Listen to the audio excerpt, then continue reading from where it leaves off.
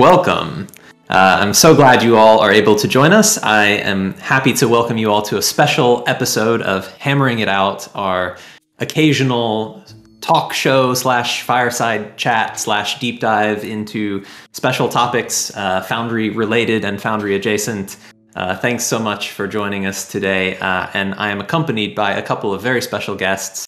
Uh, firstly, from our very own team, I've got Kim, who is one of our uh, lead developers and uh, responsible for making all of the amazing Foundry content that you come to enjoy. I'm also joined by Eothas, the ah. scattered god himself.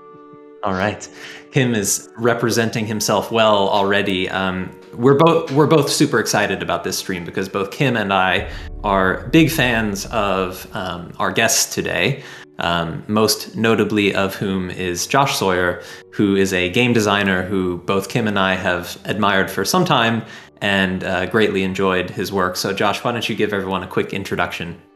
Hey, everybody. My name is Josh Sawyer. I'm the studio design director at Obsidian Entertainment. Uh, and I directed, well, let's see, going all the way back to the late 90s, I worked on Icewind Dale and Icewind Dale 2 at Black Isle Studios. And then more recently, I think people know me from uh, Fallout New Vegas, which I directed, and I also directed Pillars of Eternity 1 and 2. And I am the designer of the Pillars of Eternity tabletop role playing game. Yeah, that's it.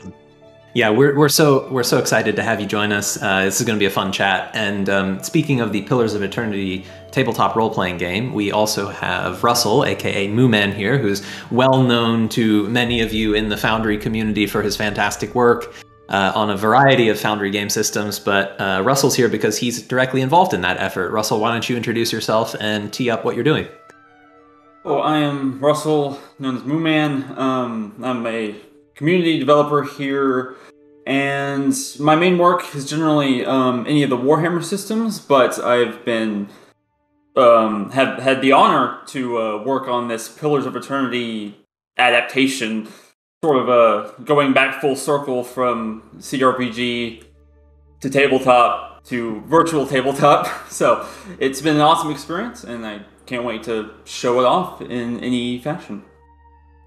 Yeah, absolutely. I think that's probably a common thread for so many people, both who are directly involved in creating Foundry as well as involved in using Foundries, that we all have uh, really strong and, and fond CRPG roots that kind of led us to love role playing games, but to to really want to enjoy them in a sort of hybrid format that brings technology and and brings uh, you know some aspects of of CRPG game design into our space, and and that's something that really shows up really commonly.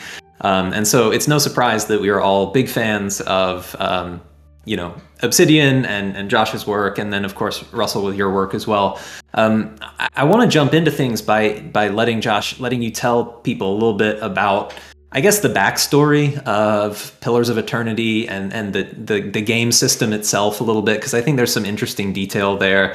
Um, you know, my understanding is that you know you were a, a, personal champion for Obsidian to do the Kickstarter to make the game happen. You know, you really wanted to be able to create the vision you had for a CRPG, you know, in the absence of obligation to to you know a publisher or an IP holder.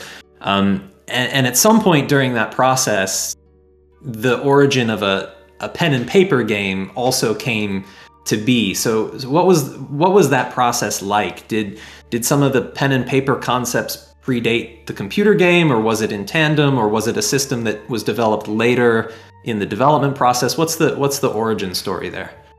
Yeah, so uh, your description of how things came about is pretty accurate. Um, you know, we wanted to make a crowd-funded game.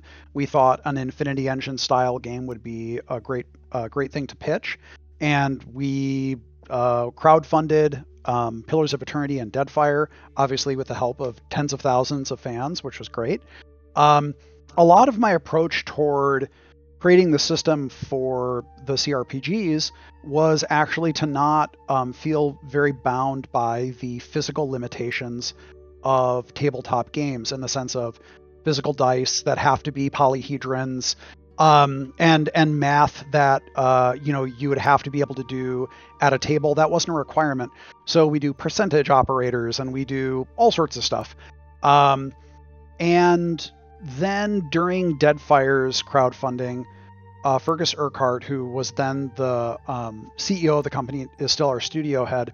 He suggested to me, "Hey, how about as a backer reward, um, you could do a, a Pillars of Eternity tabletop starter guide." And I said, I will only do that if I can do it exactly the way that I want to do it, and I'm not going to listen to anybody's opinion that I don't think is worth listening to. Um, because when it comes to CRPGs, uh, and especially things that are backed by people, there are expectations there that I have to fulfill. And, you know, that's not necessarily like a solemn blood oath, but, you know, they're expecting a game that's kind of like Baldur's Gate and Icewind Dale at the very least. Whereas with a tabletop game, I said, look, if I'm gonna if I'm gonna design a tabletop game, then I'm gonna design it the way that I want to do it, and I'm just gonna kind of take my time on it. Uh, and that was the genesis of it. And I did make the starter guide, um, and it was kind of a mishmash of a bunch of different elements I liked from systems that I thought might work well together. And it's evolved over the years since the starter guide came out into something that is more of a playable alpha and um, then when we started working with Russell on the Foundry implementation, uh, which is very critical for me running the system during quarantine, um, then uh, yeah, things started really taking off, and there was a lot of iteration on it. So that's kind of the the course that has taken us to where we are now. Yeah, amazing. I I think you know it's it's a really cool story, and I think Obsidian has a great reputation as a success story for for following that model and, achieving a good degree of independence with what you've made and and I think that's that's very cool to see especially as someone who also is sort of a independent entrepreneur you know starting this this whole foundry enterprise like it, it's cool to to see that that kind of um, independence in in the creative space. Um, I, I want to bring Russell in but but before I do that I I'm curious to hear a little bit more about that process of navigating between the pen and paper rule set and the mechanics that are at the heart of the computer RPG because I imagine that there's certain mechanics that work really well in both contexts and can can have a degree of parity and then there's probably some areas where the the tabletop game is philosophically pretty different than the computer game like what stands out to you the most in terms of areas where there's that parity and areas where there's a more strong divergence? Um, I think that the key thing. So I should say that uh, before I did this, a lot of people were um, saying, "Hey, can you do a uh, like a fifth ed conversion?" And I was like, "Just play D and D. Like I don't. I mean, like there's nothing wrong with that. Just play D and D, and I like." create a way like take the world of Eora, and if you want yeah. to play D&D in it, that's great. And yeah, ciphers are not really in D&D and there are a little some differences, but I just didn't kind of see the point.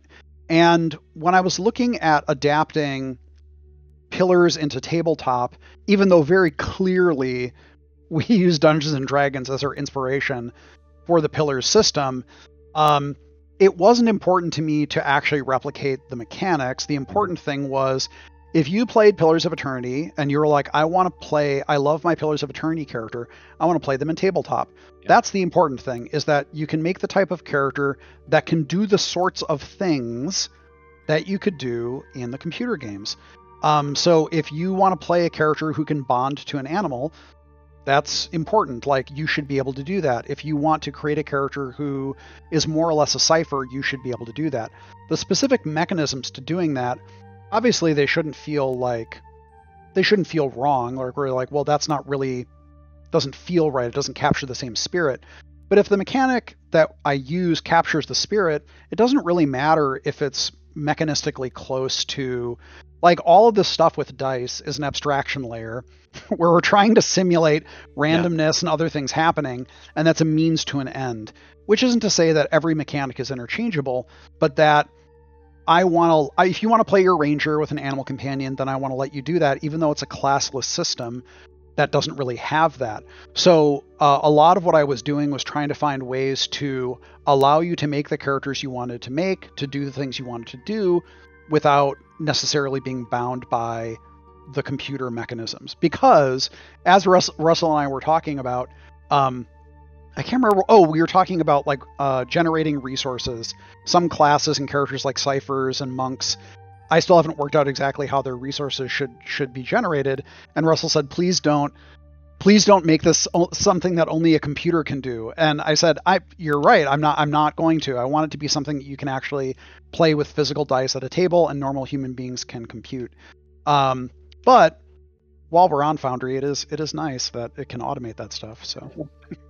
Yeah, I, I think I think that's absolutely right, and you know, hopefully, if the game is still playable at a conventional table with conventional dice and conventional human brains that aren't going to do complex arithmetic in, in a split second you know that preserves the the authenticity of the game system while still allowing for a lot of automation to you know a lot of that ends up being sort of optional depth that you can unlock that isn't required in order to role play but you know can give a different sort of experience for different sorts of players.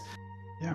Um, Russell, I'm curious to hear from you. I mean, it's pretty cool that you've been in at sort of the ground floor of, um, well, I guess it's fair to say, sort of the the redesign of the Pillars TTRPG rule set. Um, what's been your perspective on seeing the rules come together and some things that fit into Foundry really neatly? And what are some things that are more like off the wall areas where you've been just struggling to figure out how to make it work? Well, it, it's sort of a sort of like I can't predict it. Some things that I think will be really hard, like tracking token movement and determining whether a token has gone further, like like run, run um, instead of just walking, so they can't use their action next turn. I thought that'd be really hard, but turns out that's super. That was super easy. Nice. And then you know the the the whole core dice damage system is pretty complicated, but after some reiteration, especially with the power system, which required a lot of sort of retooling and migrations that caused some headaches, but um, eventually it's gotten into a I think a pretty stable state that I'm pretty proud of. Um, maybe we can show it off at some point if we have time. Um, but it's it's it's so cool to me to um, see this or be involved with this as it sort of connects to how I started with role playing games. That was like Baldur's Gate when I was a little kid, and then being the only Kickstarter I've, I've ever kickstarted, which was Pillars of Eternity. And now I'm here. It's like okay, whatever.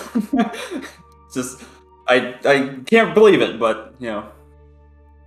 Yeah, it's it's a really cool story, and I think it's been one of the most fun things for me about getting involved in this space is the chance to collaborate with different creators who've, you know, like I've admired from afar for a long time and then here I am, you know, working with an artist or working with a, a writer who's, you know, doing something in the the tabletop role playing space. And it's a bit surreal. It's cool to be able to, you know, to indulge your your hobby in, in that in that way. Um, I think I um, remember when you sort of posted on Discord like Josh is using Foundry. That's yeah, that was a that was a real holy shit moment for me um, at the at the time. Um, yeah, but uh, I knew I'd made it at that point.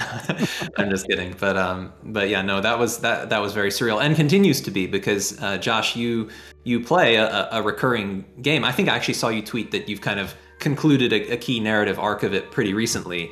Um, how how long has that game been going for, and what what led you to to discover Foundry? Was it a a direct consequence of, of quarantine and COVID, or was it just kind of circumstantial? Or what's what's the story of the game that you've been running?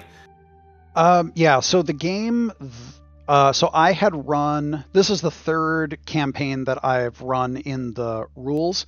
Um, the two previous versions, uh, either due to schedules and other things like burned out, or I did major reworkings of the system where it felt like it was appropriate to take a pause the first two campaigns were done in person at Obsidian, and um, I had a lot of experience with virtual tabletops previously, yeah. primarily Roll20. Mm-hmm. Um, I played a, excuse me, I played like a two and a half year Ars Magica campaign in Roll20. Um, I played a lot of D and D in Roll20, and um, I actually don't recall where I first saw.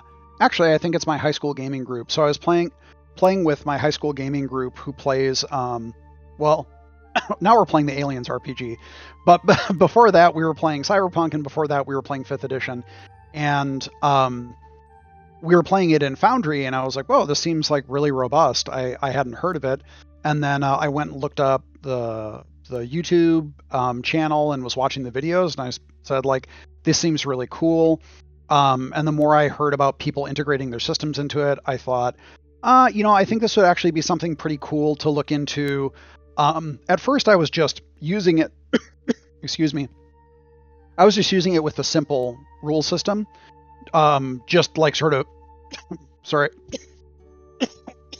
yeah, no problem. I, I remember seeing some of those early tweets of like using this the simple sort of flexible world building system to sort of mm just be placeholders for for character yeah. sheets that I presume you were managing offline. But yeah, it was just like a place for us to move things around and and do dice rolls in a in a shared space.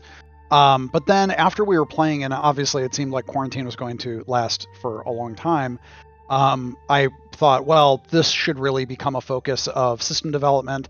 I don't have I can't really program very well. Like I can do very minor scripting, but that is not good enough, and I don't have the time, even if I could. So um, that's why we looked into finding someone. Thankfully, Russell was available. And uh, yeah, he's just been bit by bit. We've been adding more and more systems into it. And uh, the campaign uh, that I'm currently playing in, they, they reach the end of the cause, which is sort of like a one story arc within a campaign. And they've been playing for about a year now. And it's about uh, six, maybe seven players, kind of on and off. And uh, yeah, and it's been a great ride. They had a very climactic uh, final battle to the cause where uh, one of the most beloved members of the party was killed and everyone got extremely sad but it was a it was a noble death in the pursuit of uh, of the cause so. that's great those are the moments those are the moments we live for mm. um, yep does your does your game take place like relative to the canonical timeline of Eora established in the games, or is it a little bit outside of that? Or yeah, it's the campaign started five years after the start of Deadfire, so it takes place after the it takes place after the end of Deadfire in the Dyrwood, and the Dyrwood is pretty messed up by Eothas coming out of uh, and then going to the ocean, um, and so there's a lot of strife and, and chaos there. There's a little little bit of civil war going on. Um, and the campaign that takes place though or this the first cause was relatively seemingly low level. It started with a bandit leader that um, the duke wanted captured for various crimes and misdemeanors. Um, and one of the, one of the things about the cause so this isn't so much of a mechanical thing as much as a story thing. Um, i think we've all played in and various games handle this in different ways but uh, if you've ever played in a d&d game where everyone just kind of makes characters and then the DM has to really like work to get people to go together. Um, the whole point of the cause is that we as a group discuss what the cause is, and in this case, it was hunting down this bandit leader, and then every character had to come up with uh, some connection why they they would really earnestly want to pursue this to the end, and that could be revenge, it could be money, it could be all sorts of things, but it had to be something where the character really felt directly connected to it, even if they disagreed on how to pursue it. Um, and that was a good way so that right at the beginning of the game, you don't have a bunch of people saying, like, mm-hmm. well, I just don't think my character would care about this. um, yeah. But uh, but yeah, it all takes place in in the Dyrwood, which is the setting for the first Pillars um, game, and that's why we used a lot of the maps from the first game, and then I expanded onto some of the areas that are on the world map, but that don't actually have proper maps in the game because you don't go there. Sure. Yeah, I, I think that's a cool example mechanic that the pillar system has with causes because that is a a phase of every new game uh, the sort of halfway session zero halfway session one where you know you're really trying to get your players to feel responsible for the the narrative that you're starting to tell. And there's there's a lot of sort of GMing art form that comes into like how to make that happen but because most systems don't sort of internalize that as as part of the premise. Um, and so I think that's that's pretty neat that that brings that a little bit more front and center as an expectation that's shared by the people at the table. Um, I also like that uh, you know I, am clearly taking away from this conversation that your home game is is a way that you're testing out all of the narrative threads that will inevitably show up in Pillars Three. Um, cl- clearly, clearly that's the takeaway that I should have. Um, I think. Um, but but no, I mean that sounds that sounds like a lot of fun. Uh, Kim, I want to I want to bring you in for a minute. That's kind of kept you. I think Russell's Yes. been. Um, I just if I can ask my own Yeah. question. Um, Josh, I think you mentioned on Twitter that you want to like make this into like an adventure path for for pe other people to play.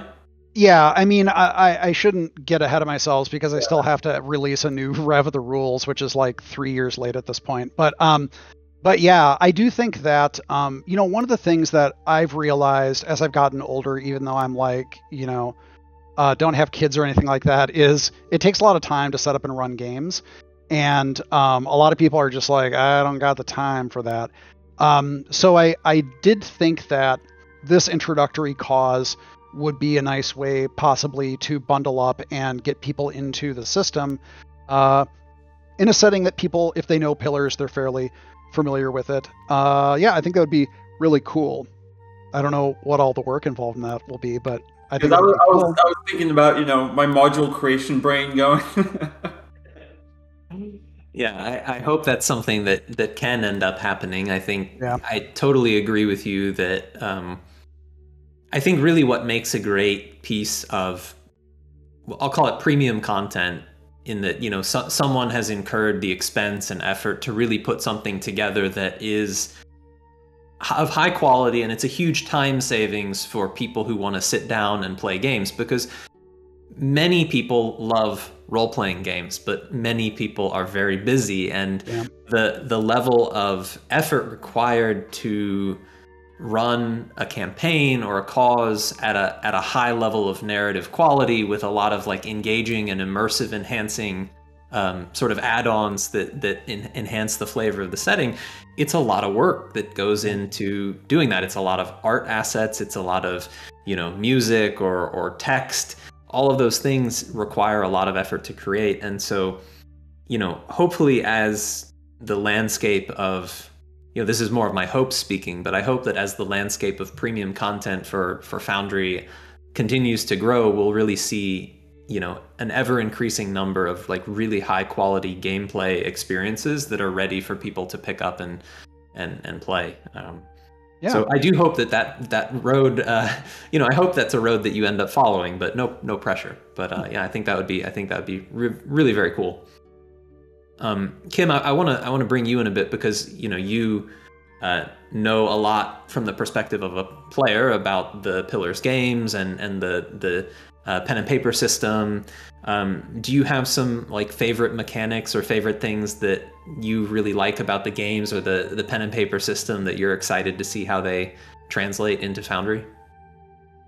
Yeah, um, definitely the thing that stood out to me the most uh, when reading through the rules was just how modular the system was. So as as a player, you get to design your own powers, you get to create your own followers, you get to um, manage your headquarters for the cause. I don't know if any of these concepts are out of date, so they, they might be, No, but still in there still in there yeah so those those were really cool and when i was reading it um, i was just thinking the whole time about uh, how it might be implemented in a vtt like there's a lot there's a lot of scope. Like you can do some really cool things with some some cool drag and drop power design ui but there's also a lot of work. So um, i don't know if you had uh, if you or russell had had any insight on on what the direction is that you're taking there.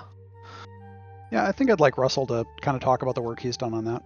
Yeah, so powers are probably the most complicated thing in the virtual tabletop implementation. Um, in this sort of initial beta system, there's nothing fancy. It's just a bunch of um, like distinct elements you can add to a to a power. Like you can say, "Oh, I want this power to have four different damage types," or like five different targets, or three different effects. And you know, there's you can just add whatever you want to it. But the system does automatically calculate, okay, it has all these attributes. It's going to be a power level whatever.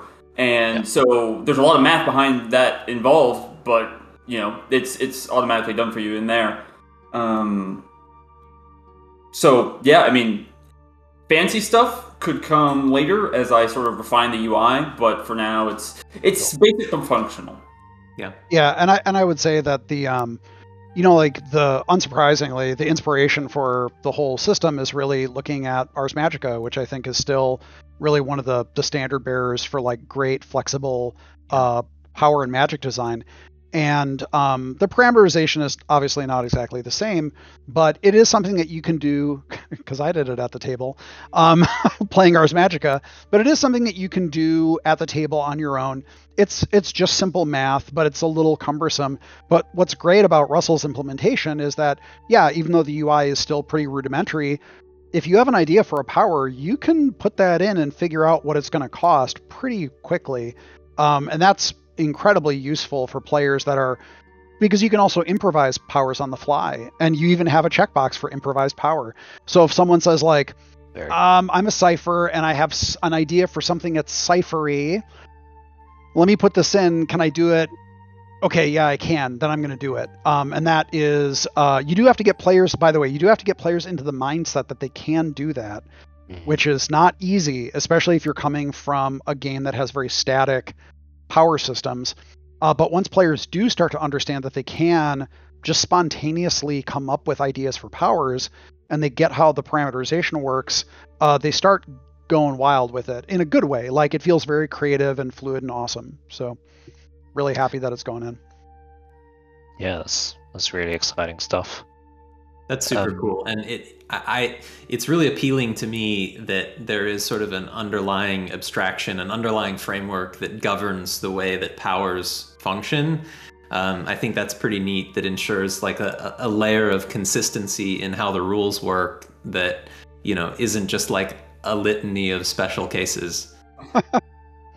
yeah, and some some of the stuff in there is um, you know there's i should say that some of it is also a little bit uh, subjective. Like um if you if you the it's a later chapter because this is not stuff that players starting out should really be bothering with but there's uh, the creating new powers uh, uh, guidelines.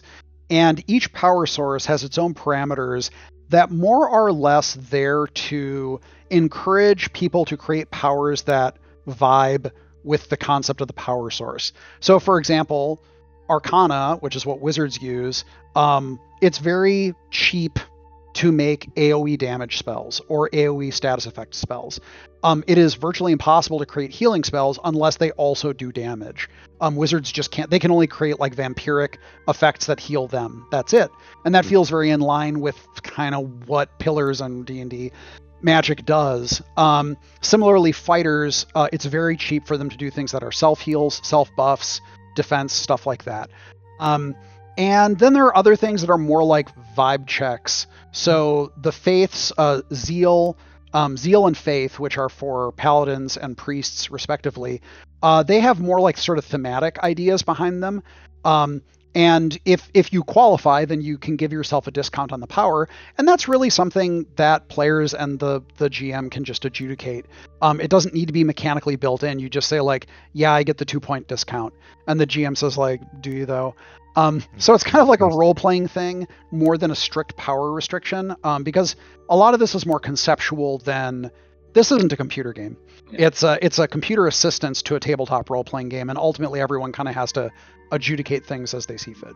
So, because wasn't one of like the paladin powers was like if you say it out loud, it's like cheaper or something like that? Yeah, it is. So, so litanies, um, and this is again, this is to kind of get that that vibe where um, paladins, uh, they have a mission, and you have the mission statement, which is is is just bullet points of like this is our thing, and if you make a power and you call it a litany, um, well, one, you get a discount on the action speed of it. So it, it becomes cheaper inherently. But the cost of that is that the name of the power must be literally what you say when you use it, and you have to speak it aloud in a strident tone. so, um, uh, I actually now, damn it, I can't remember off the top of my head. Um, the one for the uh, priests is like super uh, nuts. It's like, um, oh, it's think upon your uh, think upon your betrayal and die. I think is like the actual like name of the power. I love it. and it's it's yeah. it's for the it's for the uh, Steel Garrote, and they avenge um, people who betray their their promises and contracts.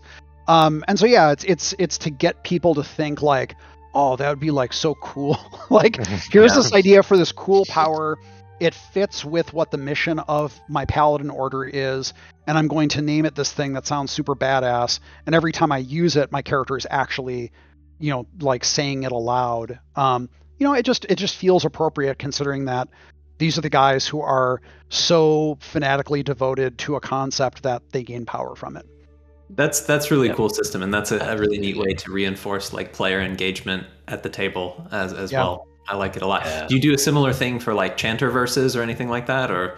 Um, chanter verses are are more themed, um, and chanter verses are. Uh, I don't have anything mechanistically for, to like sort of reinforce that stuff. Um, but yeah, the certainly the spirit of how they're named is that they all are. They all kind of need to be named after things that sound like they are either poetic or like epic verses or song lyrics or things like that. Um, and it can kind of be whatever you want it to be conceptually, but that is ultimately all that it is. Is that they are they are storytellers that are they are like literally evoking fragments of memories within the ether. It's kind of like the whole idea of it is that like you know you start you know you start singing Dear Prudence and there's like some some fragment in the ether of some dead guy's soul that shattered and he's like Dear Prudence and like the, all those fragments kind of resonate their memory with what you're doing and that creates the manifestation of of prudence or whatever. But that's that's the idea behind chanters. So naming things and and how they work uh again it, it's great when the mechanics and the role playing elements can work together in a way that feels uh very thematically appropriate. Yeah. We've uh, actually been now talking for a little while about some of the really cool design uh, cornerstones of the pillars system, I think it would be great to maybe show a little bit of what some of these things look like, bearing in mind for everyone watching that this is still under very active development, both in terms of how the the mechanics work as well as the implementation thereof in Foundry. Um, I don't know. Um, Josh or Russell, if you want to provide any additional caveats beyond that, um, but well, definitely definitely say that I did not expect this episode of hammering it out, and I um I sort of I really want to like make the UI pretty, but it's it's basically normal Foundry right now. It looks pretty basic, but um it's pretty functional per the uh, rules that I have currently. So um yeah, let's let's go in. Hopefully we sorry about the volume change, folks. Hopefully uh, on the back end we will get we will get that calibrated back down. Did I burst everyone's eardrums? uh, well, not you specifically. I think when we changed scenes, I think the um, the volume sliders on OBS are at a, a much higher value. But uh, hopefully, it's it's uh, good now. Um, uh, all right, cool. Um, yeah, so uh, what you're all seeing is um, the the view of a scene. Many of you will, I'm sure, recognize the the beautiful environmental art from the Pillars game. That uh, um, I, I, forget whether this area was in one or in Deadfire, but I, I this is this is from Deadfire, and I flipped it around and then made some edits. Nice. so, uh, yeah, um, this is this is the Bacar- this is the uh, Bacarna's uh, laboratory from Deadfire, um, and then uh, yeah, I just but it's not actually that, so that's why I flipped it around and edited it. Um, so this is an area in the current campaign. Actually, actually, this is now um, after the party cleared this, they kind of thought this would be a cool place for our headquarters. And then um, after they completed the cause, the Duke um, said, "Sure, knock yourself out." And that's why that's why the map name is deprecated Grey Willow because it's no longer an adventure space. And there's a new Grey Willow map that is their like headquarters map. Um, but yeah, it was a this was a site of some some fun fun hijinks for the party. Is there any um, particular aspect of the game system implementation, Russell or Josh, that you want uh, Matt to to pull up and highlight? I mean, could could be anything really, but just sort of show show folks some cool things. Yeah, I think the character sheet is probably well. Russell, I don't know. I was thinking the character sheet, since it's up, is a good place to start. Yeah, I mean, for sure. Like, it's hard to really get into anything without getting into the weeds. So let's, I mean, let's just explore the character sheet um, and try not to like explain every facet of it. I, I'll try not to. Yeah, I Um, think Matt's got that up now, so feel free to just sort of talk us through it, and he'll he'll click along in in tandem. So I think I think one of the things that's interesting to talk about is um, not just with the system, I guess, on Foundry itself, but the system just rules. Is there's no attributes, and it's all replaced with um, benefits, hindrances, and, and sort of general traits. Um, Josh, why? what is, your- what is Well- uh, Well, we don't have time for me to get into all of that, but I mean, basically, um, I don't know. It's kind of over time I've found that um, the the sort of fine granularity stat systems um, feel pretty fiddly and often are more of a stumbling block for people than something that feels genuinely good. Um, and often, hey, there we go, exploding dice um, right away. Um, but one of the things that I found is that you know people do like attributes because they do want to define something fundamental about like their character. Like i'm very strong. I'm a huge dumbo. I'm like you know kind of dexterous or whatever. So people want that. They do want to be able to mecha- mechanically represent that their character is good and bad at things that are more more fundamental to them than skills which are obviously more narrowly focused. So what I came back to is okay, forget about like stat upgrades, and also I didn't really want this game to dive into, you know, stat stacking and and doing a bunch of math on a spreadsheet, even though you still do have to do a bunch of math on a big spreadsheet, but only in skills. Um, but for something like um, you know, like hard to kill is a great example because it literally just it gives your your your death threshold it goes down lower. Eldrin is extremely hard to kill. I mean, like his character in many other ways is also very hard to kill. Um, but even if he goes down hard, it's very unlikely that he's he's gonna die. Um, intense gives you that like you know that intense feeling in. Um, it's reflected in all of your social interactions, um, but it requires you to be right next to the the person you're talking to. Um, all of these benefits and hindrances are meant to kind of capture the feeling that having a high stat would, but with a more sort of colorful, narrow focus, and uh, just kind of make it binary, like you have it or you don't. And I mean, all my players could be lying to me, but so far, no one's really minded that they don't have. They don't mind that they don't have numerical stats for their their core attributes. They're they're just fine with this. So it's it's been good so far. Yeah, I mean, it's, it's something I've definitely wanted to uh, try in uh, in a game, and I'm looking forward to it. Um, but as you can see, Matt's been rolling, and sort of the core rolling system is a 2d10 system that has advantage and disadvantage, but that's when you add a d20, and whichever is higher, the 2d10 or the the d20 is what you use. Um, Oh, that's really interesting. Is the is the explosion triggered on like doubles or? Yeah, so exploding on the d10s on the 2d so any any initiative or skill or or power attack roll um, is with 2d10s and if you get doubles then it explodes and you roll it again. If you if you get the same number again it keeps going. So obviously like if you roll doubles on a 2, the ceiling for that is practically speaking not going to be as high as if you roll doubles on a on a 10. Um, it does create uh, it does mean that 10% of all rolls obviously logically 10% of all rolls will explode which obviously this is all very feelsy but um, it feels pretty good i've played plenty of systems with d10s that explode and i find that um, if they explode on or or or botch on a 10 and a 1 that's a 20% incidence rate and that it just feels like a lot it happens a lot and so we kind of played around for a while and right now exploding up. We also did for a while have exploding down, which was if you rolled ones, twos, threes, one, two, threes, fours, or fives as doubles, you would roll and subtract. And uh, nobody really liked that. so, and it was also a little fiddly, and, and we said, like, ah, just explode up. So if you roll that, you roll up. Um, and then on a D, when you have the D20 in there, um, so one of the reasons why I like 2d10 is because it's the pyramid distribution. So it I know it sounds like a fiddly thing, but it it feels the results feel a lot more predictable than they do with a d20. Like when a character does something and they're pretty good at it, they're pretty likely to do it. Yeah. And when a character is not very good at it and they're not very likely to do it, they usually don't do it. Um, 2d10 has produced a really good distribution, and the explosions on doubles feels good.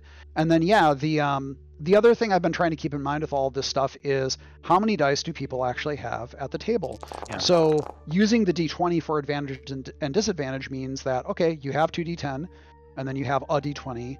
I know I know that 5e now requires you to have 2d20, but um, but yeah, if 2d10 with with then uh, the d20 allows for advantage and disadvantage, and then that coming back then creates that wide range.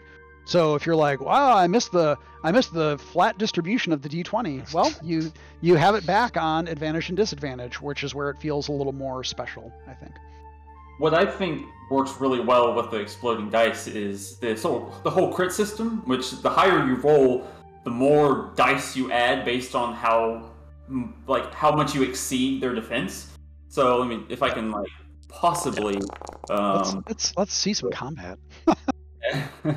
see, I, I rolled a twenty-eight. So let's see, I crit three times on this uh, this rogue, and you can see I added one d6 for, for one crit, one d6 for a second crit, and then finally the third crit for another d6. And I mean, if your crit dice have like multiple dice, it gets pretty high real quick. Yeah. Um, So it, you, you targeted the fighter and it recorded that, and then when you rolled, yeah. It knew whether you crit and did all of Yeah. that for you. Yeah. And that's what I was talking about with like the complicated damage system because like if you target multiple things, they have to like merge the rolls because you don't want to roll separately and have separate rolls for each person. You need to label like, oh, this person got this far down the, the crit, the, the the crit card, and um, yeah. So I know and by that the- defense, oh. I know that defenses, you know, provide a lot of sort of mitigation-based defense rather than necessarily. I, I think changing the the target value, but does it the target value also change, or how how's it determining like whether it's a crit or whether it's a hit? So you roll 2d10 and you add either your weapon skill or your power level. Um, well, there's an abstraction. There's a power accuracy that gets added. Um, but you you basically roll an attack, and then you have the kind of four, since third edition defenses. You have deflection, uh, fortitude, reflexes, and will. And then for anything that's damage based, a roll that equals or exceeds is at the very least a hit, and then every five points above that is a crit. And um, I recently normalized all of the crit damage and crit dice. So it's d6s and d10s. You basically, it was all sorts of crazy stuff before. but now it's just d6s and d10s. Um, and the idea is, again, like if you're at a table, uh, you should have a common pool of d6s and d10s, which are very easy to get. Um, and then if you're like, I scored eight d10 crit, you're like, great, just grab, roll them up and add them all together. Um, I am, by the way, there is a there is a logical question, which is, it's easy to sort through all this stuff in um, in a computer, but for tabletop it becomes a little trickier. But I am coming up with a logical structure whereby you basically start dropping dice from the top in a in a specific order, so that if you're like, oh well, this guy just got one hit, one crit and this guy got three crits, which dice do I drop? And there's a logical order to that. I think it's the the highest damage dice drop first. So if you have more crits, you get the proportionally higher damage. So hopefully it'll be fairly straightforward in tabletop play as well. Nice, cool. I, I also I notice on the sheet that you've got the sort of division of resource pools between you know health and endurance. That's kind of something that pulls in a little bit from the CRPG.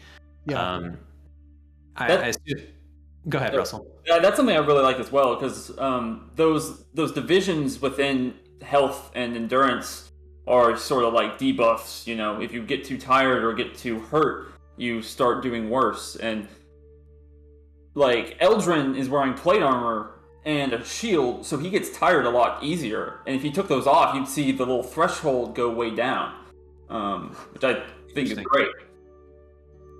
I know that the addition of you know the the system for inspirations and afflictions was like a big focus of of Deadfire. Is that something that is approaching the thinking with the the tabletop game, or unsure yet, or no? No, we're we're still using it. Um, and the integration it doesn't have like direct countering integration in here, but Russell does have effects that can be applied. Um, but yeah, conceptually we have categories. Now the thing is, in the computer game we had attributes, and all of the inspirations and afflictions were based around those attributes. Now we have more conceptual groups. So we'll have like ground afflictions or mobility restrictions or volition restrictions, which nah, kind of map similarly to the attributes. But so like a mobility restriction would be you're uh, hobbled, you're hampered, um, you're paralyzed. A uh, volition restriction would be uh, confused, charmed, dominated. A ground affliction would be, and we actually have tiers of we have prone, knocked down, and down and out. And the reason for these tiers is uh, the crit system works with them. So if you if you get uh, for every two crits you get uh, an affliction, you can increase the severity of it, or you can make it unshakable.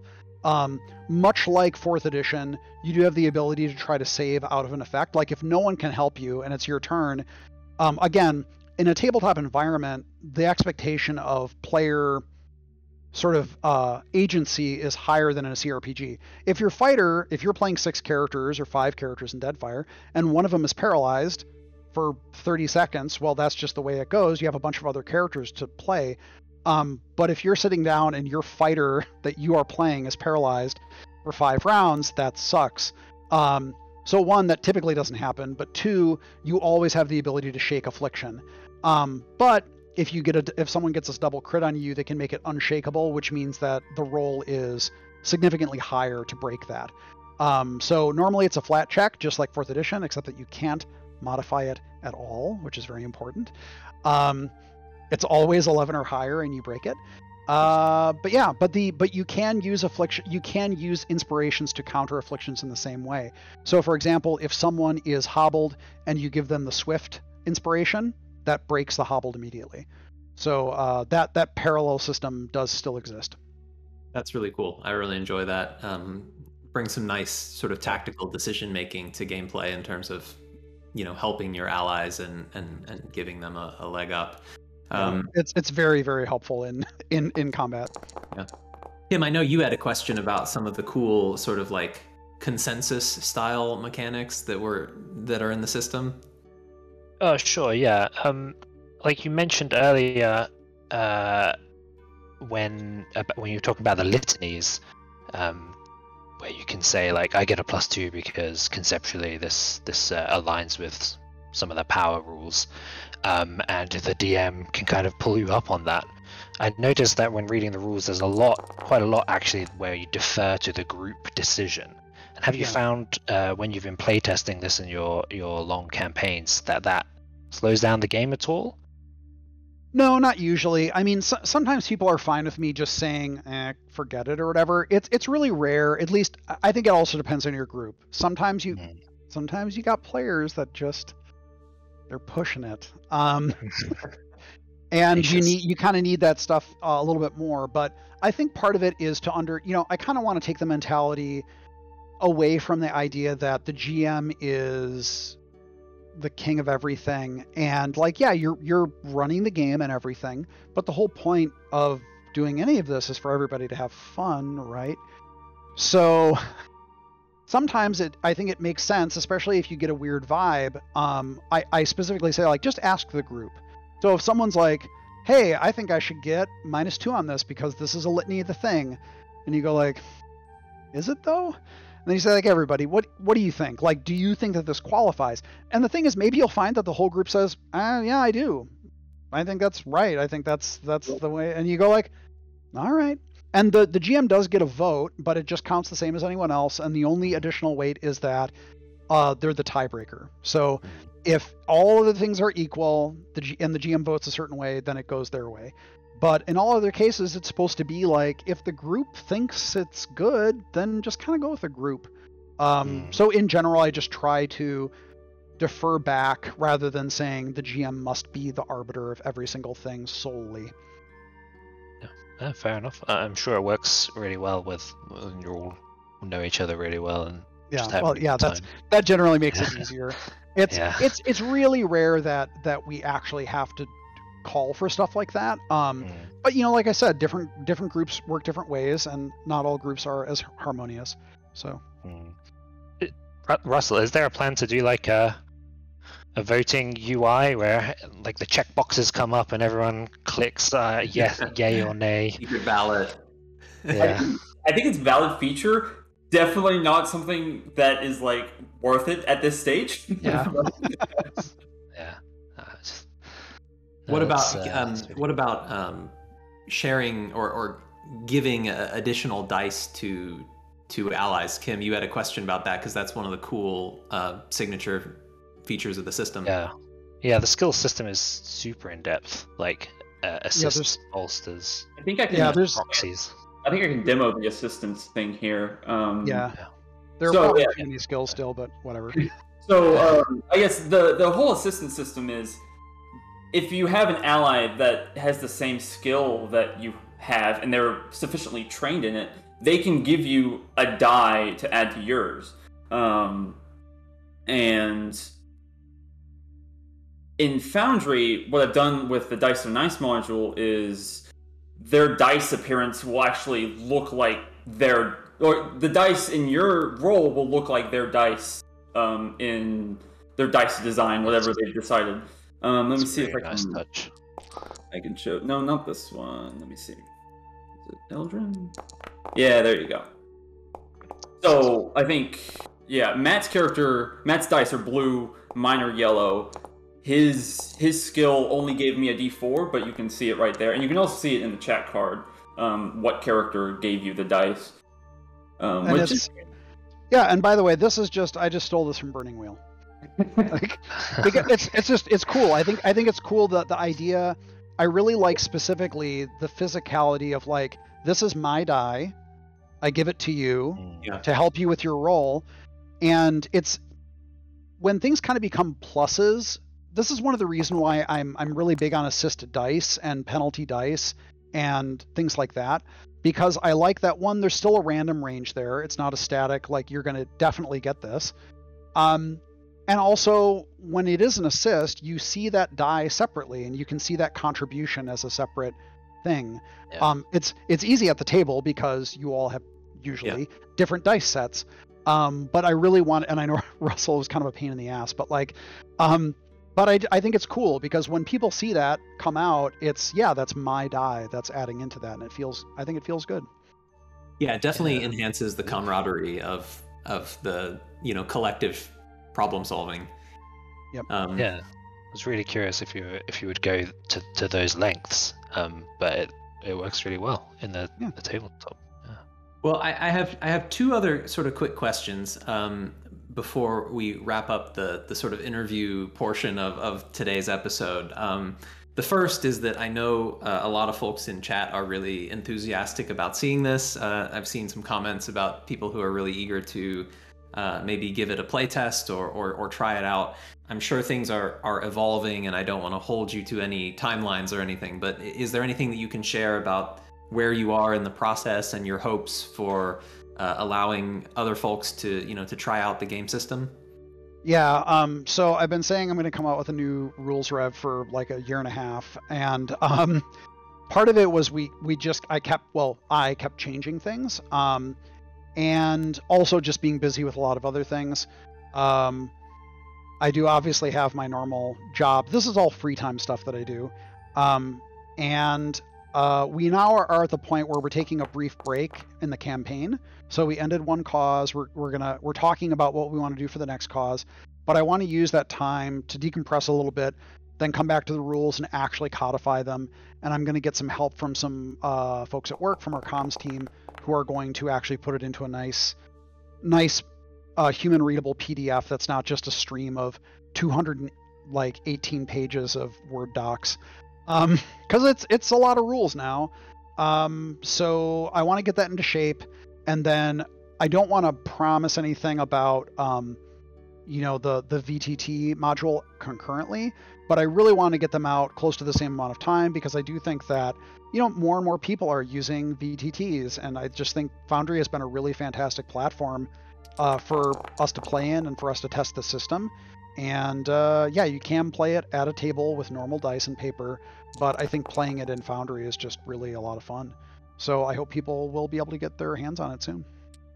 Yeah, that's Yeah, awesome to cool hear. too. And I hope that um, the fact that all of these mechanics are kind of codified into the system implementation in Foundry makes it really easy for people to, you know, to play test it and then to provide feedback that, you know, it, it filters out, I guess, some issues with you know were did the did the testers actually implement the rules correctly and therefore are providing feedback on the intended rules or, or, are you know it, there's sort of a an assistance that that having the structure can provide in terms of making it easier to test the intention of the design Yeah, and I and I think also, I mean, one of the things that um, I like to believe, and I, I think Russell actually did say this to me early on, is because my whole career really has been CRPG development.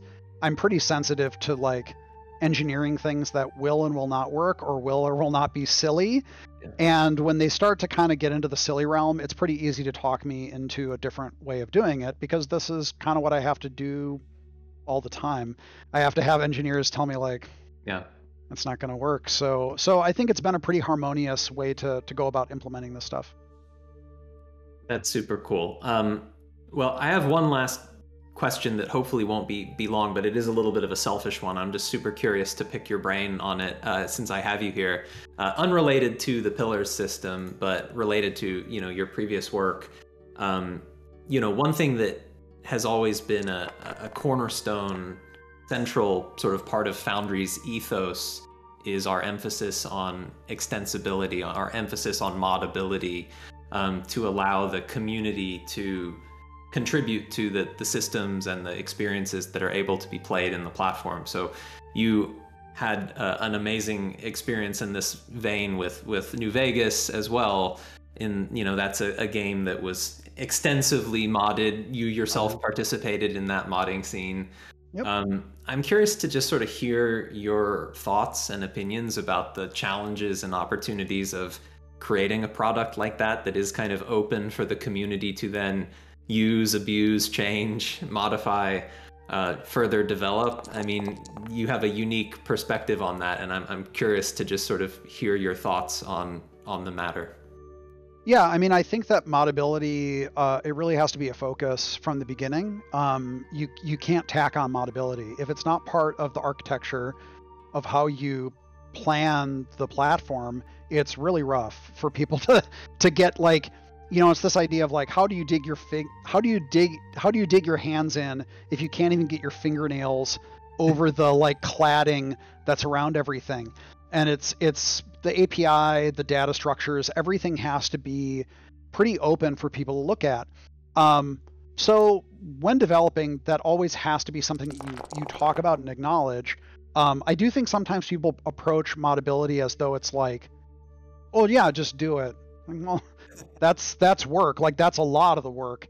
And um yeah i mean uh, i we benefited on new vegas from the work bethesda did. I mean it's not like we made the game moddable. Bethesda did it. That's their engine. And um their editor and their data formats uh, allowed that stuff to happen and that's fantastic.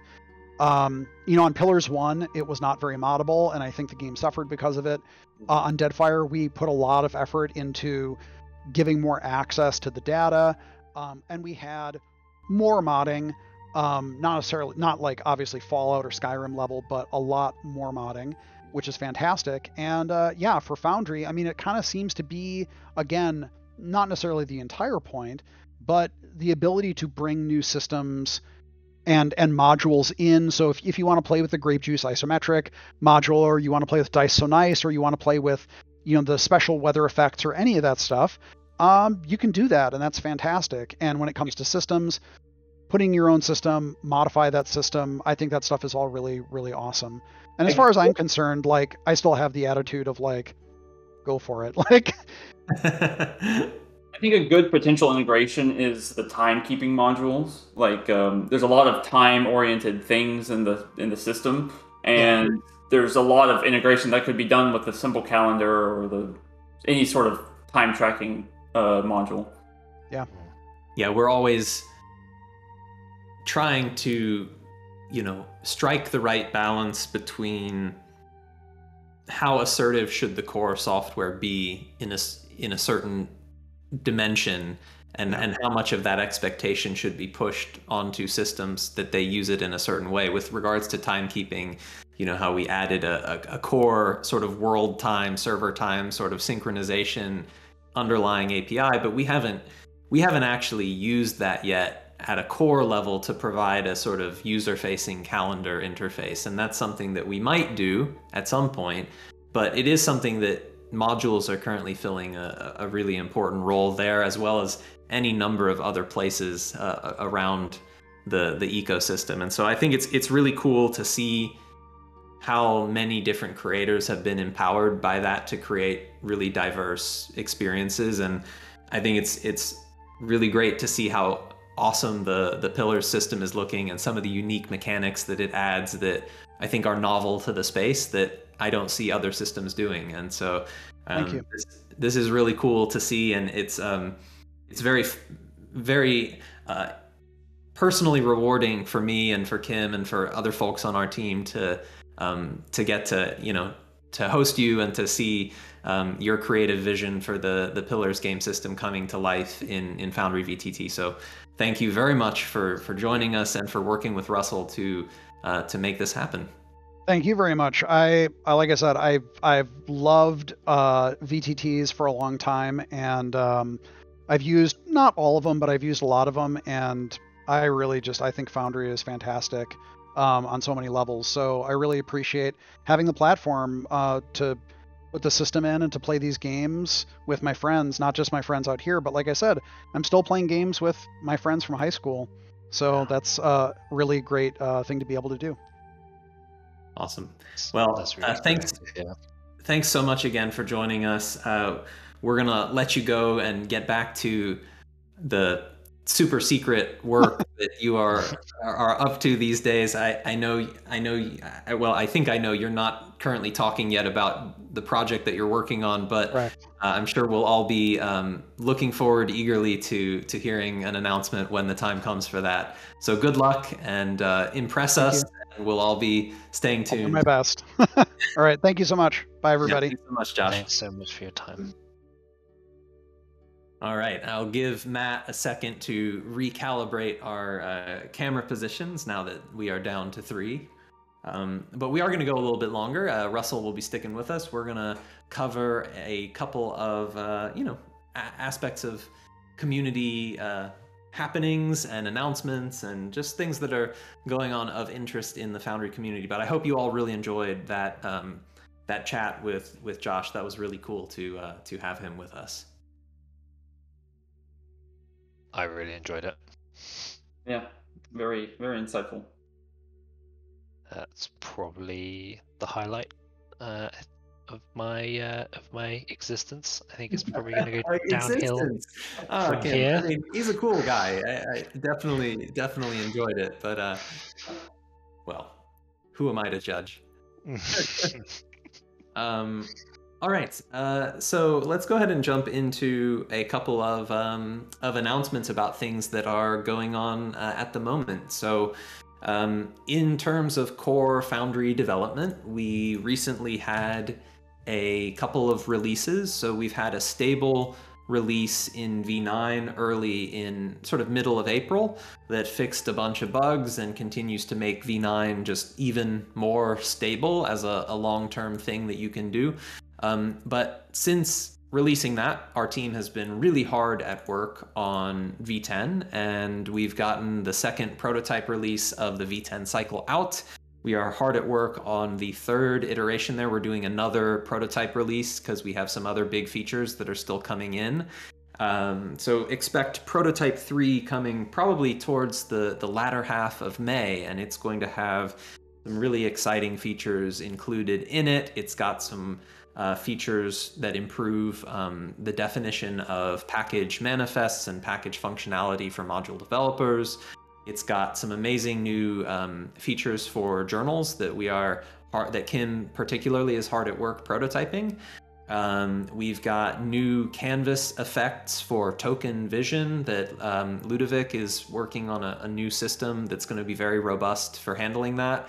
Um, we've had to do some pretty That's kind of incredible. thoughtful reorganization of the structure of the canvas in order to make that possible, but we're going to be able to empower some really dramatic and, and amazing vision effect, vision-based effects um, that tokens can take advantage of.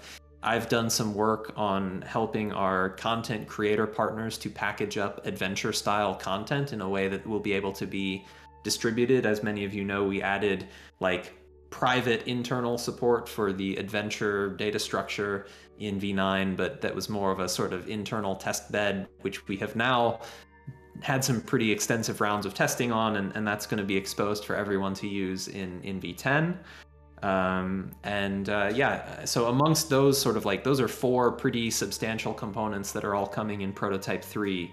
Um, and, and that will be later this month. And then we'll be into phases of, um, yeah, testing the changes with our developer community, and then later on with our, you know, non-developer user community in in pursuit of getting um, V10 to a place where we can call it stable.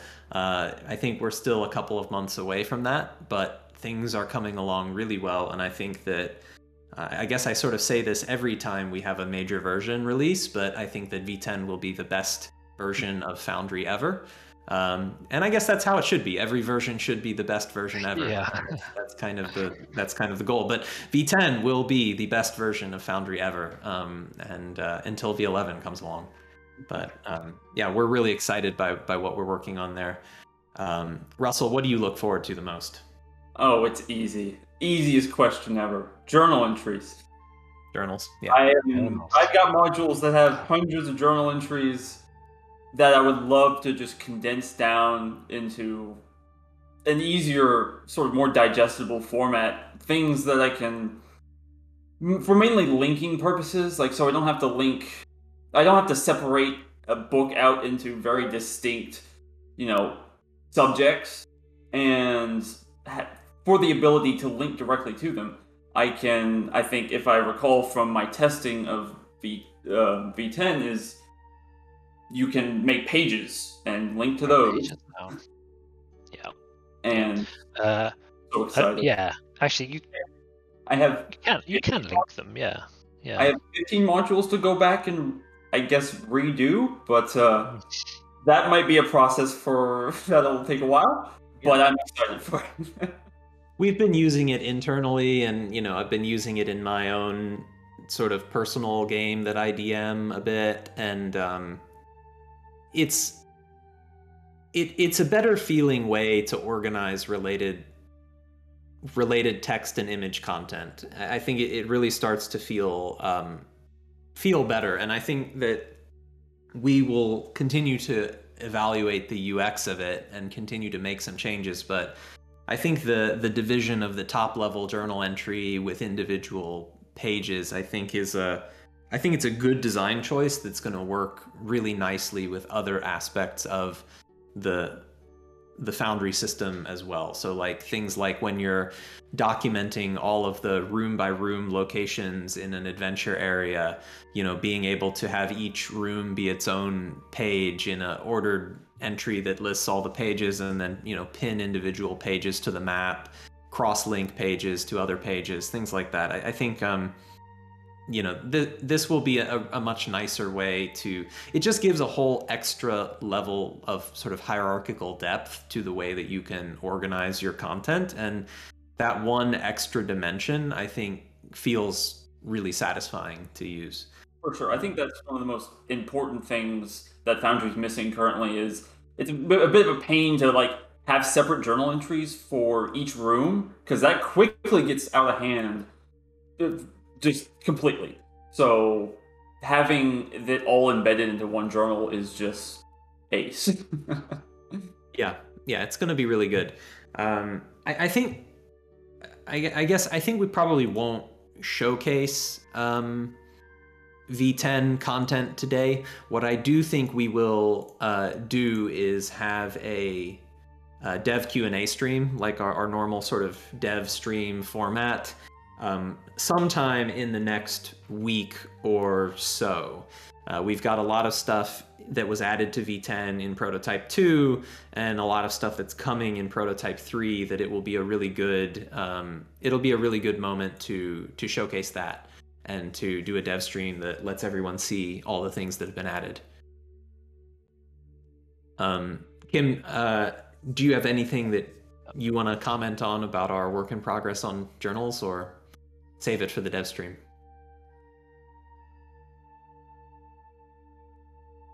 I'll, yeah, I'll save it for the dev stream. I've I've been really thrilled at the feedback so far.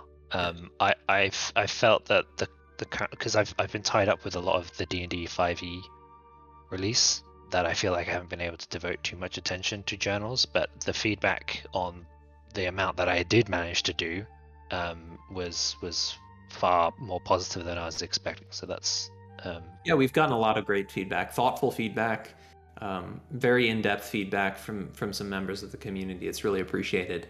Um, speaking of your work on the 5e system release, that is um, obviously a, a, pretty significant release for many Foundry users who use that system. Uh, why don't you tell us all a little bit about what uh, D&D 5e version 1.6 has added? Yeah, um, 1.6 we focused on uh, what we call advancements, which uh, kind of the word lost its meaning during the course of, of, developing. Yeah, it that it was just everything was an advancement. I was typing the word advancement so many times. You weren't uh, sure my, if it was spelled correctly now. yeah. yeah, my my hands don't even know. a word anymore. I, yeah. Um, so what that means though is is anything uh, on your character uh, that progresses uh, as they level up. Um, it's not it's not that narrow. It's like a very a very broad system, but but in terms that the average player can understand. Um, when you level up, things change, and we've kind of got an API for for that, and the core system itself has built a few things on top of that. So we've got hit points advancements, we've got scale advancements, um, and we've got feature grant granting like features when you level up, and there's plenty more planned. Uh, Jeff has already got got uh, issues created and merge requests. Um, yeah, we would be, itself. Sorry. You you did a, a great amount of work on one six, um, but we would be remiss. Uh, yeah. Not to highlight the the really great contributions that we got from our community of developers, specifically Jeff, uh, goes by Arbron on Discord. Um, Caligo, uh, I'm I'm trying to think. There were a number of others who, of folks who contributed various features, but um, Jeff certainly was the torchbearer for us on on one six, and we had lots of kind of exhausting design conversations about how should advancements work. But once we achieved some consensus about what that system might look like, uh, he did a, t- a ton of really great work to um, to bring that vision to life. Yep, yep. We should all all uh, have have a lot to thank Jeff for uh, for his hard work there. And now we have a really robust advancement system which we can build on um, to handle all aspects of character advancement and for modules to build on and specifically like custom content um, or third-party content, I should say, was a was a focus as well. You know, there's lots of custom classes and subclasses out there that we want to be able to those creators to be able to create it fully synced up with their own compendiums, and that they can package up as modules and just work out of the box, integrate into the system. Yeah, it's going to be a really great way to empower homebrew character advancement. Um, well, I say homebrew, but you know, not not just like home homebrew, but also sort of official premium, uh, mm. you know, premium content from folks that are building on the SRD um, base. Um, so yeah, that's that's new in the 5e world, and and we'll continue working on that. I think probably we will at some point want to focus on getting 5e integrated with some of the new cool sort of data model system tools that exist yep. in in V10. So V10 adds some underlying APIs to add more sort of structure, uh, validation, cleaning, um, you know migration ability to the way that system data is stored and so that's probably something that on the 5e side we'll be eager to take advantage of that might be part of 1 7. i don't know we'll see um, yeah it should solve some long-standing problems with active effects if we have the the type in the yes if we have the schema for for the thing that's being affected we know what type it's. Much easier to know for sure if your if your target field is a string or a number than to try and infer that. Um, exactly. Yeah, yeah. Uh, that that's going to be really nice. We have some other really exciting uh, team news. Um, so we added a, a new part-time member of our core team. Uh, this is Caeora, who is a really super talented artist. I'm sure many of you are very familiar with Caeora's work. Uh, you can find him on Patreon, patreon.com slash Caeora. He is continuing to, you know, build his Patreon and his, his Patreon community as he has always done, but he is now spending uh, some of his time each week with our team directly, and he's helping us with uh, to, to sort of drive a, a couple of projects. One is a, a renovation and sort of next generation of design for for Foundry. So you'll start to see uh, at some point in the coming month slash months uh, the evidence of some new design work that is going to be showing up in various places and the the idea is to keep the raw power and capability of foundry but to hope uh, help it to become more beautiful and user friendly uh, and intuitive. And so um, we're going to really look forward to to working on that and work has already started on that uh, and I, I, really look forward to the community seeing the first evidence of, of that coming together. Um, we also are working with Caeora on a, a, separate project that is a little bit more on the content creation side that is going to be very very exciting but nowhere near um, time to to talk about at the moment that's going to be much more of a long-term thing but um, yes, really exciting stuff. Uh, really exciting stuff there. I thought um, Caeora came for like like content, like the D and D assets, but it's cool to see that it's actually possibly new uh, UI coming or some such. Yep. Yeah, we're yeah. we're. I, I, guess I don't have to keep this necessarily secret. I just don't want to overpromise anything because we don't know exactly what timelines are going to be. Um, but we are going to be working on new uh, UI and, and, UX for Foundry that will improve the look and feel of the product. But we're going to start with a facelift, a refresh for the website. Um, and we're going to use that as a test bed for some new design concepts where, you know, we can pretty safely roll them out to the website without affecting people or, or, needing that change to be part of a foundry release or something like that. So you'll we'll be able to share in the future we'll be able to share some website improvements um, and hopefully everyone will love that but we'll get feedback uh, whenever you change anything someone will tell you how much they hate it so we'll get both good and bad feedback but um, yeah we're gonna we're gonna refresh the website and put a, a nicer coat of paint on the way that we present um, foundry and and the brand because uh, that is important. It's something that we haven't necessarily emphasized as much as we ought to. Um, and then after that's done, we will be taking many of those concepts and gradually rolling them into um, Foundry Core. And I think that that will probably end up dovetailing with the long awaited application v2 uh, work that, you know, sort of underlying API changes to change the way that we render interface elements, and then we'll probably accompany those underlying changes with some user-facing changes for uh, how it looks uh, as well.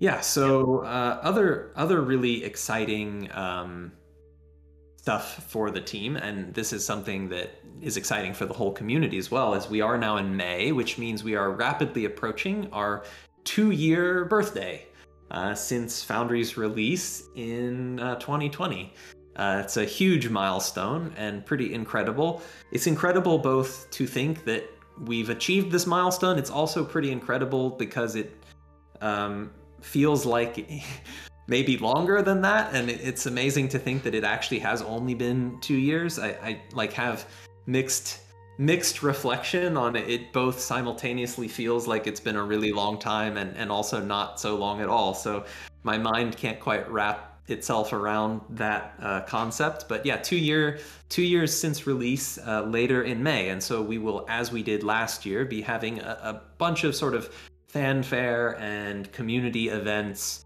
surrounding our birthday celebration. Uh, our birthday, so to speak, itself is on May 25th. Um, but in the period of dates leading up to that and around it, we will be having a, a sale. So Foundry licenses will be at a, available at a discounted price.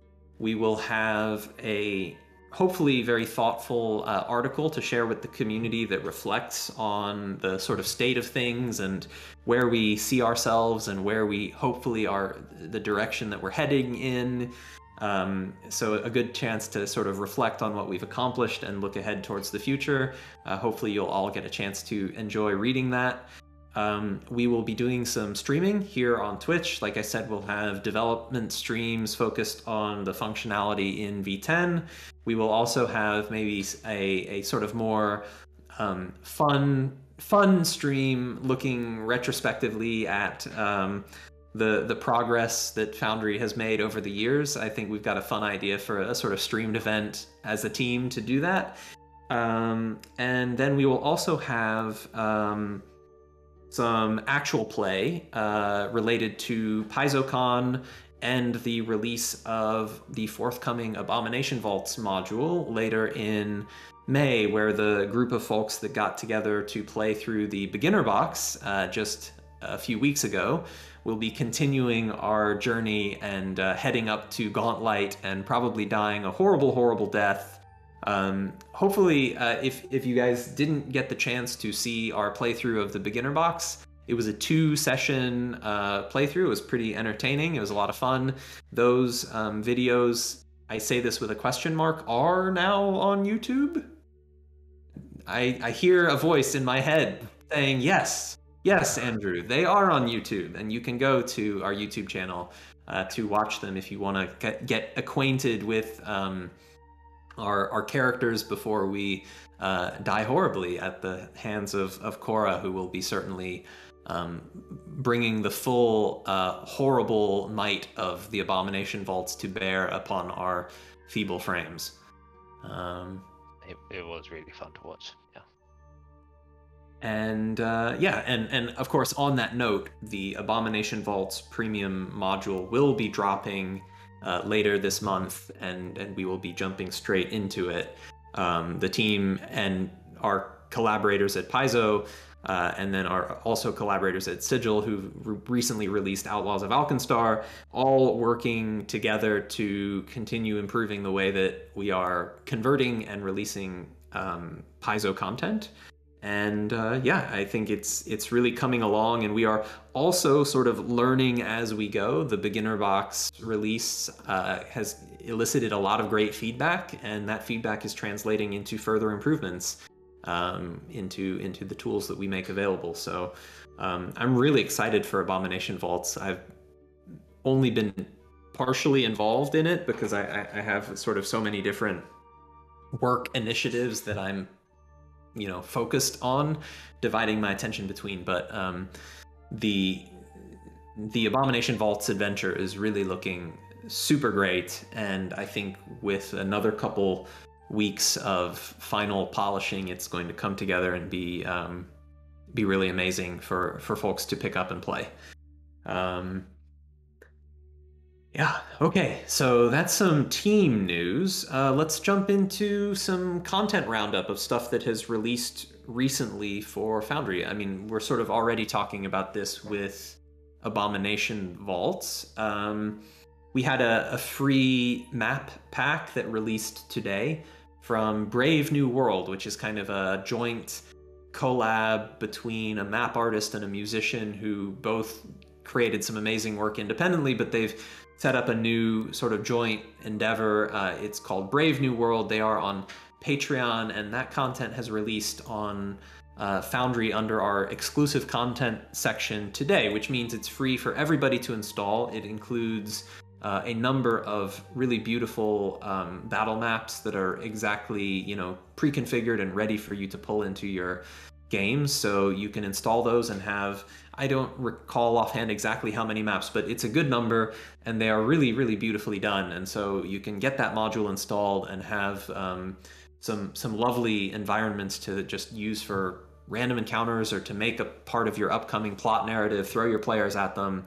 Um, and then you can get more besides by supporting Brave New Worlds on Patreon, where there have um, you can find them at patreon.com slash brave new worlds and i'll link that in uh, in chat or maybe i'll get someone else to um, while i uh, highlight uh, the the next release that we have um, we one of our very first uh, exclusive content releases. It might have even been the first. I don't recall for sure, but Adventure Music um, is a, a, composer who creates some really fantastic sort of thematic, iconic music to use to to underscore your tabletop role-playing adventures. And Adventure Music has released a big update to their uh, freebie uh, portfolio and so you can install the uh, adventure music sort of anthology pack uh, and get a bunch of. Um, there's 20 new tracks that have been added, so a, a, really good variety of music for all kinds of different gameplay situations that are um, ready to use. Um, so that's another one that is. Uh,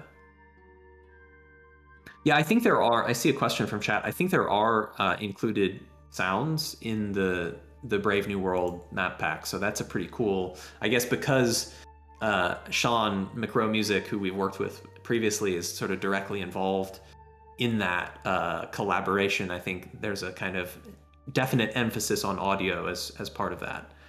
Um, I love all the exclusive free uh, music and sound, so I'll need to update. Yeah, yeah, yeah. I mean, it's it's ama- it's an amazing way to get a, a, a really great baseline portfolio of audio maps tokens whatnot that you can use for playing and so anyone who buys foundry can instantly have a starting like a starter library i think that's one of the, the key goals that this category serves for us and it also really helps these creators who it gives a way to really make it easy for them to let people try out and, and check out their work and hopefully for people who really enjoy and like what folks like Brave New World and Adventure Music and, and uh, wondrous work, so I'm going to comment on in just a second. Hopefully, folks who really like what these creators are doing will then go and support them on Patreon to get even more stuff in the same uh, in the same vein. Yes. Speaking of which, uh, Domille released a new exclusive pack uh, with a bunch of phased battle maps. Uh, so this is kind of her thing, her signature hallmark of the way that she does map making is she creates uh, kind of staggered narratives over time of um, map environments that change over the course of an encounter. Um, and that could be possibly just because of the progression of time. It could be in response to actions that the players take. But either way, all of her maps have what are called phases, and her module actually builds in a UI based tool to transition between the different uh, phases of a, a module uh, of a map. And so while your players are are undertaking this really epic encounter you can kind of step through the different phases and each one intro- each additional phase introduces a sort of dramatic turn of events in terms of like the the circumstances of the map um, that really accentuates the the narrative of what your players are experiencing. So definitely encourage folks to check out um, Domille's pack on that. And then for more of her content, again, you can find her on Patreon uh, at patreon.com slash Domille WW. Oh gosh, I don't want to get this wrong. Let me actually make sure I'm giving the correct Patreon URL. I think, yes, patreon.com slash DWW. I knew it wasn't exactly Domille. Uh, DWW on Patreon is where you can get um, uh, more of her more of her wonderful work. Um, let's see. All right, yeah, moving on. Uh, premium content. So that those modules were ones that are all available to be installed for free. Anyone with a Foundry license can get those installed. It's a free freebies that come just included with your your Foundry purchase. Uh, however, we do have a number of really great pieces of premium content which you can pay to have the kind of extra over the top uh, experience with with all of the great stuff included. And so we would be amiss since we have Russell here uh, to not emphasize some of the awesome uh, Cubicle 7 releases that have come out recently. Um, we've got the Wrath and Glory Forsaken System Player's Guide. We've got Ubersreik Adventures 2 for uh, fantasy, and then the Soulbound starter set. Russell, why don't you tell a little bit about each of those and, and what you're working on in, in Warhammer Land? So, um, yeah, uh, Ubersreik Adventures is a set, a collection of adventures that pair really well with the Warhammer starter set. So, um, the starter set provides the setting, while Ubersreik Adventures 1 and 2 gives you a lot of really cool sort of incidents or things for your players to partake in. Um, the Soulbound starter set is a good introduction to the relatively new Age of Sigmar Soulbound system that uh, I've been working on. Um, and it provides a nice, like the Warhammer Fantasy starter set, it provides a nice setting, a city that uh, the players can uh, explore and do the sort of main adventure in, which is going underneath the city to the depths below. Um, and in the 40k side, the Forsaken system adds a bunch of player options, so a lot of lore, a lot of new sort of classes or archetypes your players can um, can use, and it pairs well with the the system update that sort of integrated that archetype system for easy character creation. Um, yeah, nice, awesome stuff. I love seeing the just sustained quality that comes out of the pipeline for different Warhammer systems. It's really great to just have such a wealth of content available. Um, yeah. On, on um, it's been pretty quiet lately, but the next sort of trio of modules is coming soon, so keep an eye out. But... Yep. Nice. Um, already alluded uh, and mentioned the release of some Pathfinder stuff. So the Pathfinder Beginner Box is available for purchase on Paizo.com, uh, and it, it, contains everything you need to, to get started playing Pathfinder Second Edition in Foundry VTT. It's a really amazing product to help you get started. Really recommend it. Um, we were involved directly in creating that package, and so uh, it's certainly something that uh, we feel proud of the sort of polish that it it achieves in terms of how it works in in Foundry VTT. And as a follow up on that, our partners at Paizo and Sigil have released uh, chapter one, or book one rather, of Outlaws of Alkenstar, uh, Punks in a Powder Keg, which is their brand new uh, adventure path that has a bit of a sort of western slash steampunk slash uh, kind of outlaw style uh, vibe to it. Uh, that's a really fun sort of atmosphere, and it takes place in the the city of Alkenstar, which is sort of a bit of uncharted territory, I think, for um, the Paizo IP. And so it's really exciting to see them expanding in that direction. And it's a really neat adventure path that uh, is available to pick up and play. Uh, the subsequent chapters of Outlaws of Alkenstar will be available, uh, hopefully, ideally, on their street release dates uh, as chap as books two and three are released. Um, and uh, and then of course we have Abomination Vaults coming up uh, later in May. So definitely some great things happening on the Paizo and Pathfinder fronts. Um, we also can really celebrate the arrival, uh, the addition of a, a really uh, prodigiously productive Patreon creator to our Patreon membership integration system. So that's uh, the Mad Cartographer, who is one of the preeminent map makers, uh, asset makers for Foundry VTT. Um, Mad cartographer Alex is now, and well, it's not just him anymore. He's got a whole team uh, working on this amazing stuff. But Alex and his team are integrated with our Patreon membership. So if you are a supporter of the Mad Cartographer on Patreon, you have to be at his uh, tier that gives you Foundry access. But if you support the Mad Cartographer on Patreon, you can link your Patreon account on the Foundry VTT website, and you will be able to install uh, all of his Patreon content uh, that he releases every month um, through the Mad Cartographer directly into Foundry as premium content once your account is linked. Um, so I know that many, many of you out there are supporters of Alex and Mad Cartographer on Patreon. Be sure to link your account on the website and check out his stuff and get it installed in Foundry. It's really easy to do, and you can get going with some really amazing maps and little like built-in adventure prompts that that go along with them.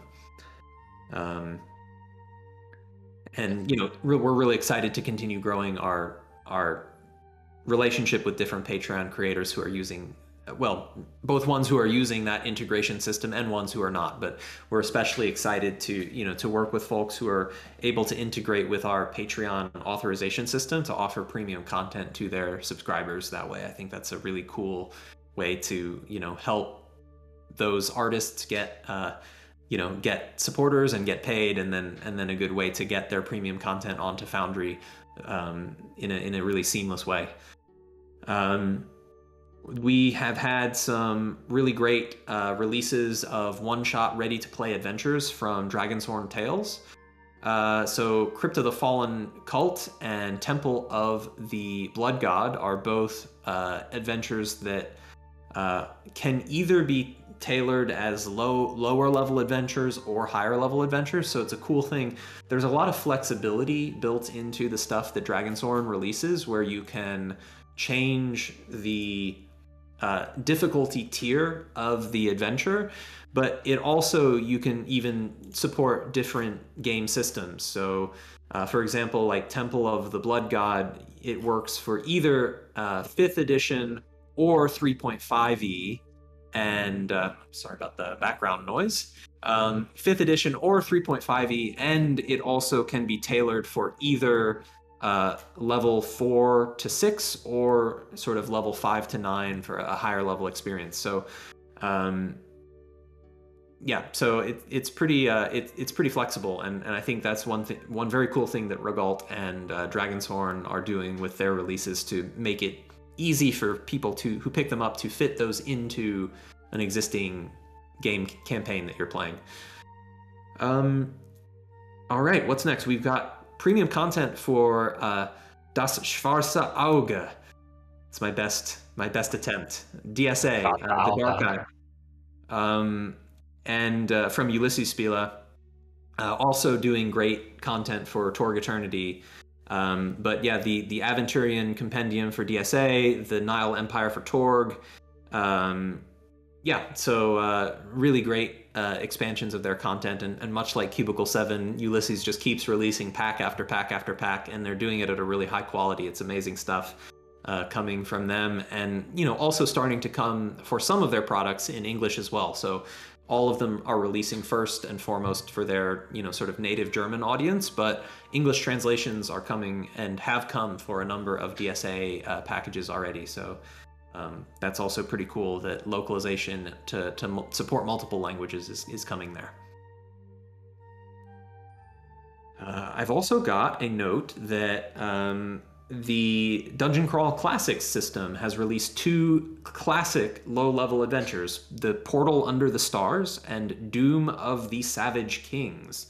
Um, so, between those two adventures, you unlock access to 50 new items, roll tables, rumors, dozen NPCs, uh, and adventure areas that can challenge your your players. So that's a really good uh, pair of adventures that you can use to really try out kind of a old school classic dungeon crawl classic system that um, you know maybe you haven't had the chance to to try um, before but if you want to get your feet wet the system is available to install for free but this content can give you that kind of premium experience if you want to do an adventure with your group. I really encourage you all to check that out as well. I think that about does it for my content roundup although we are just announcing new stuff every day that is available for Foundry, and it is super exciting to see this all, um, you know coming out with such uh, you know such regularity and and you know with such high level of quality. It's really it's really amazing to see. We've been i won't say struggling but we have been working hard to keep up with the velocity of the content pipeline that is is being put out. And matt on our team has been a real champion for making sure that all of those launches have gone so smoothly and that our relationships with our publisher partners are as uh, growing as, as well as ever. Um, so, yes, um, that is about the end of my script. Uh, Kim or Russell, do either of you have things that you'd like to highlight or shout out? Um, Uh, no, none, nothing from me. I don't think. I'm curious about y'all, but I am going to Gen Con this year at the Warhammer booth. So if anyone is going in chat and you want to meet, just just let me know. I don't know if, if what y'all plan what y'all's plans are. We have not really announced our plans yet, um, and we are still figuring them out. But I will be at Gen Con, and I think, um, I think it, possibly some other folks from our team will be at Gen Con as well. Uh, we will be sharing some details on that in the coming weeks and months, but I'm excited to hear that you will be there, and I'll look forward to um, hanging out with you in person at, at Gen Con and everyone else from the Foundry community who will be in attendance this year. Sorry to like undercut you there with the timing, but uh, No, no, no undercut at all. I, I think that's that's really exciting, and it's a great it's a great chance uh, to to meet up with folks who otherwise we only see uh, see online. yeah, I'm very excited. I've always dreamt for like a Foundry Con, but this will do. In in the meantime, yes, we will we will uh, we will appropriate other conventions and make them you know FoundryCon uh, in name. Um, yeah. Kim, anything from you? Oh, I guess I already asked you that. I won't ask you I again. I won't ask you a third was time. trying to think. I was Um, trying to think, but I don't think there's anything. No. Okay, well, in that case, I think this is a great time to wrap up, and I would like to say a very special thanks to Kim for co hosting with me, to Russell for joining and sharing your perspective and insight on the system creation process for Pillars of Eternity, and then most uh, significantly to Josh Sawyer for joining us and being our special guest today and sharing his wisdom and perspective and uh, uh, on all things uh, role playing related. Uh, it was a really pleasure to get the chance to chat with him, and I thank all of you in the audience for sticking with us. And I hope you found this interesting. We will be back on Twitch soon with a dev Q and A, uh, and stay tuned for all of the correspondence and. Um, Stuff related to our two year anniversary celebration that will be starting later this May. And I hope you'll all uh, join us for that and look forward to it. Um, but for now, that brings this special episode of Hammering It Out to a close. Um, so thank you all very much, and we will see you next time. Farewell. Thanks.